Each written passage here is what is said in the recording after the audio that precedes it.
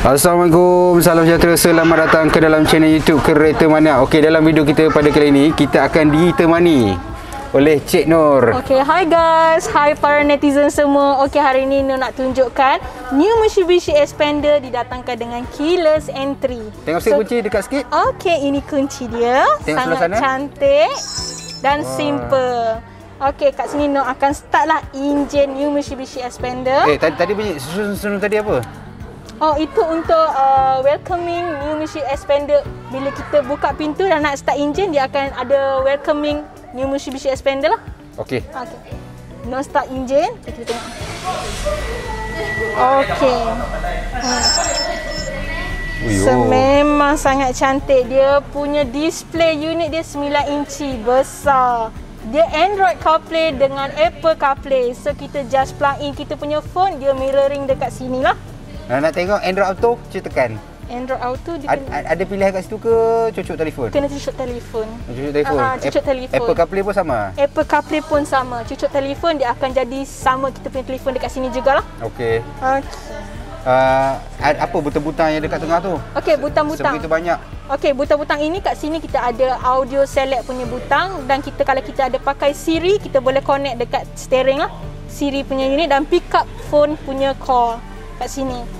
Dan kita ada butang info. Info butang kita boleh adjust kat sini untuk eco driving Mhm. ataupun kita nak check kita punya meter bila masa akan datang untuk service Mhm. dan kita ada setting menu dan kita ada trip untuk kita set kita punya trip A ataupun trip B Mhm. dan lagi ni kita ada untuk berapa kita punya kilometer boleh pergi untuk isi minyak.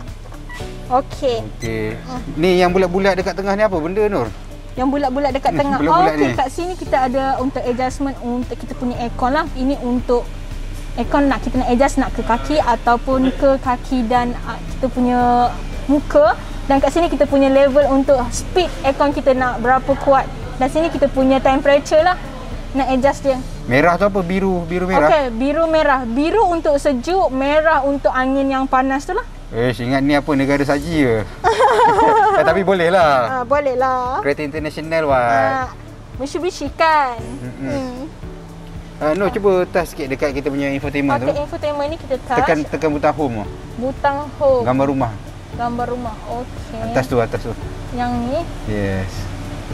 Okey, kita Oh, ada radio, ada. setting, USB dan Bluetooth connect. Dan kalau kita nak change wallpaper kita sekarang warna biru kan nak tukar colour lain pun pelbagai colour boleh lah. Hmm. Bluetooth music pun boleh. Ikut pada kita lah. So Boleh kita, tukar ah, wallpaper, boleh eh? tukar-tukar wallpaper. So nak pakai wallpaper ni pun boleh kita just set lah confirm punya wallpaper. Dan kita pergi pada butang home juga dan kita boleh buka lah dia punya radio. Okay. Okey okey okey faham faham faham. Okey Okey. Nur, uh, thank you sebab Hmm. share dengan kita berkenaan uh, interior design bagi pemandu kereta Hmm. ni. Uh, saya sukalah macam rekaan dia ag- agak moden dan hanya ada satu varian saja eh. Dia satu variant saja. Ada auto cruise tak benda ni? Apa ni? Auto cruise. Auto cruise ada. Kita datangkan dengan auto cruise lah. Memang siap sekali. Dia adaptif ke auto cruise saja? Auto cruise sahaja. Okey, see. Mhm. Okey, faham. Mhm. Uh, Okey, thank you Nur. Uh, kalau saya nak tanya lebih info berkenaan Okey. uh, kereta Kalau nak tanya lebih Expander ni. Okey, kalau nak tanya berkenaan lebih info untuk new Mitsubishi Expander ni boleh contact Nur di talian 0162491941. Ingat Mitsubishi, ingat Miss Nur.